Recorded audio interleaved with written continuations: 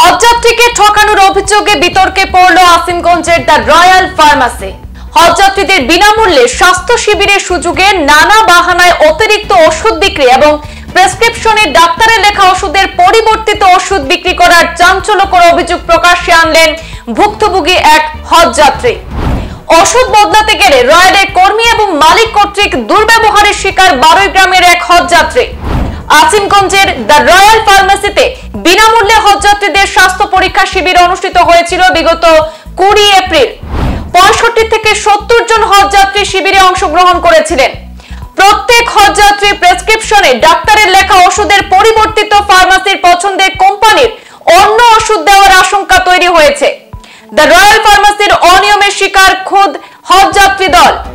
ওষুধ পরিবর্তন করতে যাওয়া হজযাত্রীকে অপদস্থ করার অভিযোগ উঠেছে ফার্মাসির জনৈক কর্মী এবং সত্ত্বাধিকারী মোহাম্মদ সালমানের বিরুদ্ধে।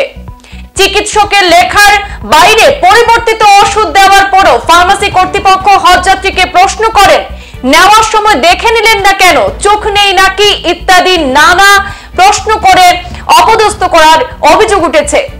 ওষুধ বদল করতে গিয়ে রীতিমতো অপদস্থ হয়ে সংবাদ মাধ্যমে আসিমগঞ্জের দ্য রয়্যাল ফার্মাসির বিরুদ্ধে বিস্ফোরক অভিযোগ প্রকাশ্যে আনলেন বারোই গ্রামের নবীপুরের হজযাত্রী মনসুর আহমদ। শুধু পরিবর্তিত ওষুধই নয় ডাক্তার যেখানে লিখেছেন পাঁচটি কিংবা দশটি ট্যাবলেট, সেক্ষেত্রে হাজিদের পাঁচটা পরিবর্তে দশটা এবং দশটার পরিবর্তে কুড়িটা ট্যাবলেট ক্রয় করতে হয়েছে বলে চাঞ্চল্যকর অভিযোগ প্রকাশ্যে এসেছে। অভিযোগের বর্ণনায় জানা যায়, হজযাত্রীদের স্বাস্থ্য শিবিরে চিকিৎসকের লেখা ওষুধের সঙ্গে ফার্মাসির ওষুধের মিল না পেয়ে আজ আসিমগঞ্জের দ্য রয়্যাল ফার্মাসিতে গিয়ে রীতিমতো অপদস্থ হতে হয়েছে বলে অভিযোগ করেন নবীপুর গ্রামের এবারের পবিত্র মক্কা মদিনা সফরের জন্য প্রস্তুতি গ্রহণ করা মনসুর আহমদ। তিনি তার মতে শিবিরের সমস্ত হাজিদেরকেও একইভাবে পরিবর্তিত ওষুধ ও নানা অজুহাতে অতিরিক্ত ওষুধ বিক্রি করা হয়েছে বলে অভিযোগ তুলে শিবিরে অংশগ্রহণকারী সমস্ত হাজিদের দ্য রয়্যাল ফার্মাসির থেকে ক্রয় করা ওষুধ প্রেসক্রিপশনের সঙ্গে মিলিয়ে নিতে আহ্বান জানিয়েছেন মনসুর আহমদ। আমাদের হাতে ওনার মন্তব্য রয়েছে, শুনে নেব ওনার মুখ থেকে বিস্তারিত বিষয়। আসসালামু আলাইকুম। আমি এই হজযাত্রী। গত বিশ তারিখ আসিমগঞ্জ ফ্রি হজযাত্রী ফ্রি মেডিকেল চেক আপ করানো হয়েছে। রয়্যাল মেডিকেল আসিমগঞ্জ মালিকের নাম হইল সমান ভাই। গতদিন বিশ তারিখ আমার প্রেসক্রিপশনে যে ঔষধ লেখা আছে, এটার বিপরীতে তাই অন্য ঔষধটা আমার দিছেন।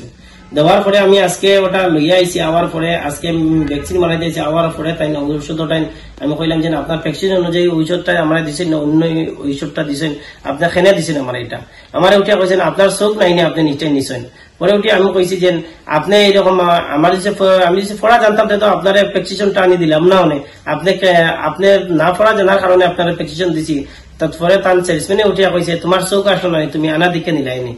পরে আমি কইছি, সলমান ভাই দেখেন আমরা টুকটাক বিজনেস করি, এরকম আমরা কোনো সময় আছে মাস গেলেও আমরা ঔষধ রাখি। পরে তাই উঠে কইছে, না, এরকম আমরা কোনো সিস্টেম নাই, তিন দিনের ভিতরে হইলে আমরা রিটার্ন রাখি নিলে আমরা রিটার্ন রাখি না। পরে তাই আমার বাক্কা দুর্ব্যবহার করছেন তাই উঠিয়া কইছেন যে এইরকম আমরা চেঞ্জিং হয় না, ঠিক আছে, তুমি চেঞ্জিং করতাম না, তুমি পারলে কিছু তোমার ঔষধটা লিয়ে যাও আমি কইছি, আমার ঔষধ নিতাম না, আপনার কাউন্টারের উপরে থাকো পরে তাই প্রেসক্রিপশনে ঔষধ কোনো সময় লেখা আছে দশটা তাই এটা দেখা বিশটা দেন তাই ঔষধটা বেশি বিক্রি করতে করি তাই উঠিয়া করে এটা বক্স ছাড়া বিক্রি হয় না। পরে তাই আসিমগঞ্জের রয়্যাল মেডিকেল ফার্মেসি তার মালিকের নাম হইল সলমান ভাই। আপনি বাকি হজযাত্রী বাকি হজযাত্রী যেগুলো আছেন বিশ তারিখ ক্যাম্পিং যতজন আছেন সবার প্রেসক্রিপশনটা আপনারা চেক করিয়া ঔষধটা নিবা যাতে ইনো গিয়া কোনো প্রবলেম হয় না আপনারা প্রেসক্রিপশনটা বার করবা। প্রেসক্রিপশনটা বার করিয়া আপনারা ঔষধটা মিলাইয়া নিবা। আর বিশ তারিখে যে আপনার ক্যাম্পিং যেটা আছে করা হয়েছে আমি যে ঔষধটা লইছি, এটাও তাই সিসি টিভিটা ফুটেজ করবা জনগণে আর আজকে যে আমার যে ব্যবহার করছেন, আজকে যে তাই আমার লগে ষাট তারিখ যে সাড়ে এগারোটার সময় তাই এটা আমাদের যে দুর্ব্যবহার করছেন, এটাও সিবিটিভি প্রসেস করলে আপনারা পাইবা। আর জনগণের কাছে এটা আবেদন যাতে আর রয়্যাল মেডিকেল আপনারা এইরকম আইয়া এনাস্তা হইন না, আর মালিককে যা ব্যবহার করছেন, এগুলো আমাদের জনগণের মধ্যে আপনারা সারিয়ে দিয়েছে। এটা আমরা যদি কোনো জিও পাই না, কোনো সুবিধার পাই না, তা আমরা উপর দিকে আমরা প্রশাসনের কাছে যাইব। সংবাদ এই পর্যন্তই, ফিরছি পরবর্তী অন্যান্য আপডেট নিয়ে। ধন্যবাদ।